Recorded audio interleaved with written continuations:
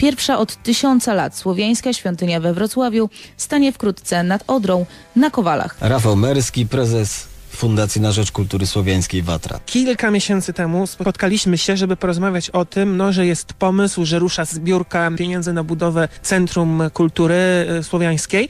Teraz można powiedzieć, że pieniądze w zasadzie częściowo są i już niedługo ten pomysł zacznie nabierać fizycznych kształtów. Jak najbardziej. y, Tu darczyńcy są dosyć hojni i, i dosyć, y, dosyć sprawnie wspierają naszą zbiórkę.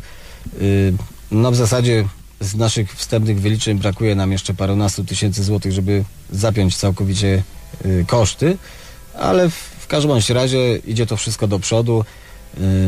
Złożyliśmy, niedawno złożyliśmy już cały komplet y, potrzebnych dokumentów. Y, Oczekujemy na decyzję urzędu w sprawie pozwolenia na budowę.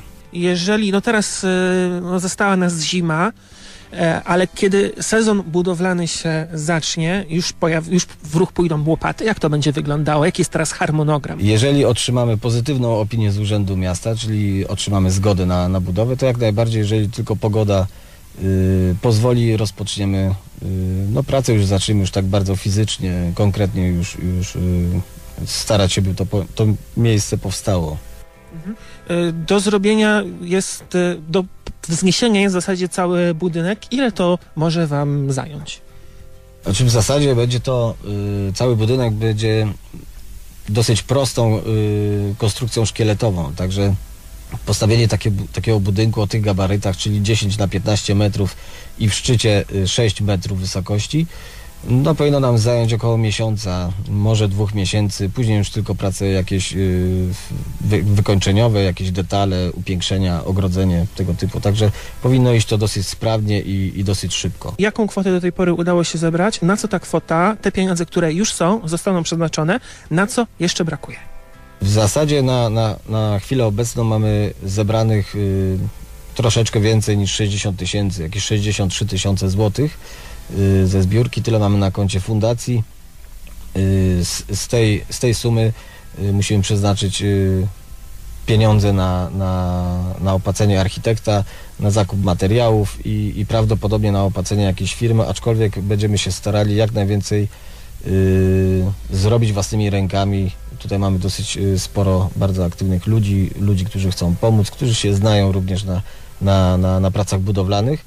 Także no, głównie, głównie środki będą przeznaczone na materiał, tak, tak planujemy przynajmniej. Wróćmy jeszcze do tej naszej poprzedniej rozmowy. Przypomnijmy słuchaczom, którzy nas e, e, wtedy nie słuchali. Wyjaśnijmy słuchaczom, jakie funkcje będzie miał ten budynek. On, jeżeli dobrze pamiętam, będzie miał przeznaczenie dwojakie. Zgadza się y, budowa Centrum Kultury Słowiańskiej, które w zasadzie y, pierwotne założenie było takie, że ma być to chram, czyli miejsce święte, miejsce do obrzędów, czyli zwyczajnie mówiąc świątynia słowiańska. Wraz z rozwojem projektu stwierdziliśmy, że y, warto również przeznaczyć to miejsce na, na edukację, także dwojakie znaczenie, dwojakie, dwojaka funkcja, czyli oprócz funkcji sakralnych, gdzie my, rodzimowiercy słowiańscy, będziemy się spotykać, by celebrować nasze, nasze święta, nasze obrzędy. Chcemy też prowadzić tam działalność edukacyjną, y, działalność kulturalną, czyli prowadzić warsztaty, na przykład pieśni, warsztaty tańców słowiańskich,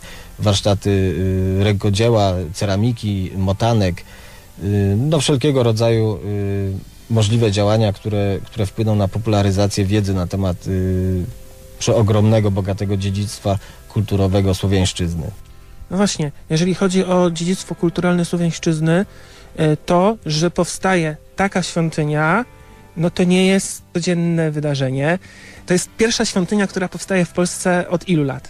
No, jest to pierwsza y, świątynia, która powstaje w Polsce i w zasadzie we Wrocławiu od 1033 roku, kiedy w trakcie tak zwanej reakcji pogańskiej na Ostrowie Tumskim została wzniesiona właśnie tego typu budowla, budowla y, przeznaczona do celów sakralnych, czyli słowiański chram, słowiańska świątynia.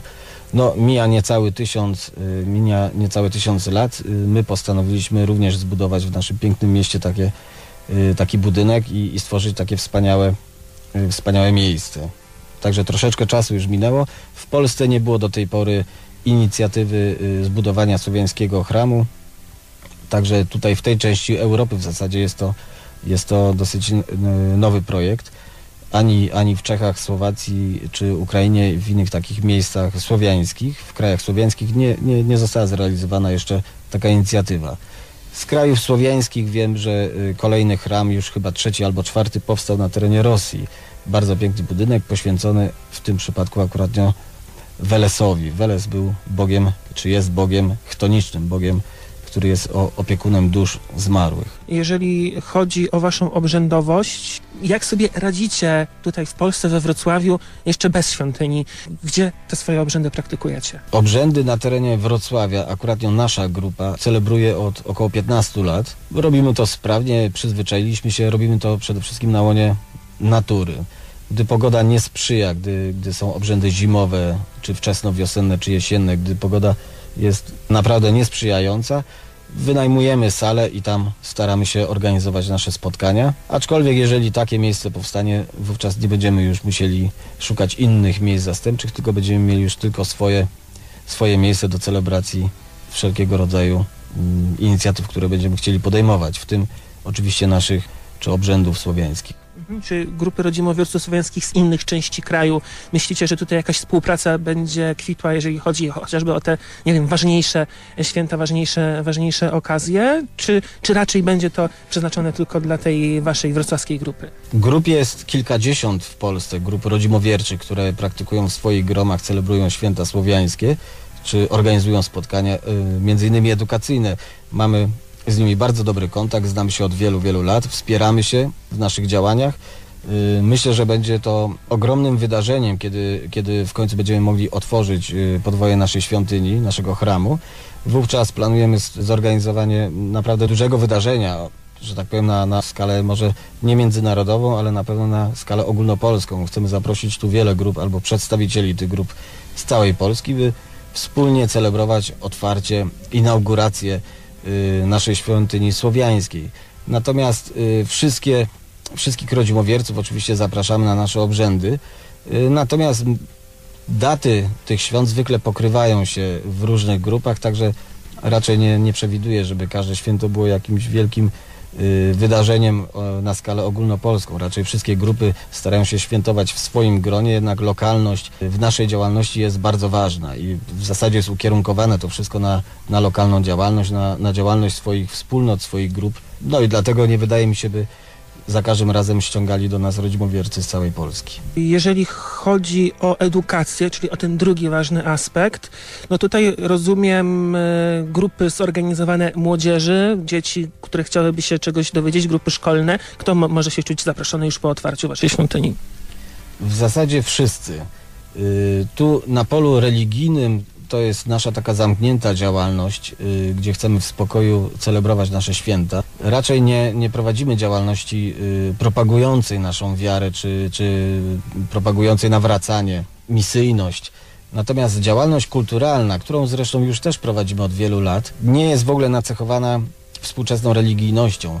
Jest raczej nacechowana czystą edukacją. Staramy się przedstawiać kulturę, historię zdobycza archeologii, y, etnologii, dlatego jak najbardziej na, na, na, naszą działalność tą w sferze kulturalnej są zaproszeni praktycznie wszyscy. Liczymy na to, że będziemy mogli zaprezentować czy pokazywać to nasze wspaniałe dziedzictwo słowiańskiej kultury wszystkim, czyli grupom y, przedszkolaków, y, grupom uczniów, y, również osób dorosłych, studentów. No, wszelkie osoby będą mogły myślę, zaspokoić swoją ciekawość i dowiedzieć się wielu interesujących rzeczy na temat pochodzenia czy, czy dziedzictwa kulturowego, tradycji naszych przodków. Jeżeli chodzi o obecną porę roku, e, no dla e, chrześcijan, dla katolików e, zbliżają się święta Bożego Narodzenia. Domyślam się, że w tym czasie także wy macie swoje własne święta, które osobom związanym z obrzędowością chrześcijańską, katolicką mogą się wydać dziwnie znajome. Jak najbardziej, gdyż 90% obrzędowości e, chrześcijańskiej czy katolickiej jest zaczerpnięte z tradycji y, pierwotnych. Tu w naszym przypadku są to tradycje słowiańskie, nie jest to nic dziwnego, jest to zresztą bardzo piękne, dlatego ja bardzo, bardzo lubię wszelkie święta doroczne, również w liturgii katolickiej, bo w tej obrzędowości domowej, w tych tradycjach rodzinnych ma to jak najbardziej charakter nasz rodzimy słowiański, czy 12 potraw na stole, czy sianko pod obrusem, czy dodatkowe nakrycie dla niespodziewanego gościa. Są to zwyczaje czysto słowiańskie, mówiąc lekko brzydko, pogańskie. Dlatego bardzo lubię, jak wszelkie tego typu zwyczaje są praktykowane i kultywowane. Jak to e, święto będzie wyglądało u Was? Jak ono się w ogóle nazywa? Z czym jest związane? Święto y, przesilenia zimowego u nas w słowiańskiej tradycji nazywa się Szczodrymi Godami. Jest to, jest to święto, y, które obchodzi się w podobnej porze, czy w tej samej porze, co święta Bożego Narodzenia. No, data jest zbieżna, bo o to samo chodzi. U źródła jest odrodzenie się mocy życiowej Słońca, czyli mamy tu y, przesilenie zimowe. Y, wówczas y, okres 12 dni, a także 12 potraw odpowiada 12 miesiącom, które będą następowały w najbliższym roku. No, oprócz tego grona rodzinnego, w którym wszyscy rodzimowiercy spędzają ten czas, mamy swój obrzęd właśnie szczodrych godów, kiedy to y, oprócz ofiar i modlitw i pieśni do, do bogów, również bardzo, bardzo mocnym y, akcentem, czy bardzo mocnym elementem tej obrzędowości jest właśnie wspólna biesiada, kiedy możemy się wszyscy rodzimowiercy spotkać, w tym przypadku w wynajętej sali, gdzie możemy właśnie śpiewać pieśni, y, tańczyć. Jest to, pamiętajmy, bardzo radosne, bardzo radosne święto. W tym czasie również przyzywamy naszych przodków na, na biesiadę, stąd ten zwyczaj dodatkowego nakrycia. Teraz mówi się o nakryciu dla niespodziewanego gościa. Dawniej, czy też w naszej rodzimowierczej y, obrzędowości jest to dodatkowe nakrycie dla duchów przodków, którzy odwiedzają swoich potomnych, którzy przybywają do miejsc, gdzie, gdzie żyli, do, do, do, do swoich potomnych, których, że tak powiem, zostawili po sobie. Dlatego te specjalne nakrycia są po to, żeby ich ugościć, żeby z nami przybywali, żeby widzieli nas radosnych, pełnych życia i, i wigoru. Dlatego taki jest też charakter tych świąt. I tym tematem kończymy. Do usłyszenia. Magda Derdańczyk.